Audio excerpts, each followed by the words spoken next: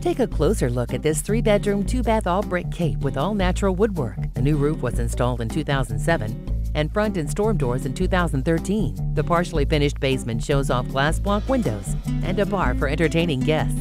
Or entertain with summer barbecues in the great backyard. A little paint and paper are all you need to make this into a perfect home. Contact Sharon Stock for your showing today.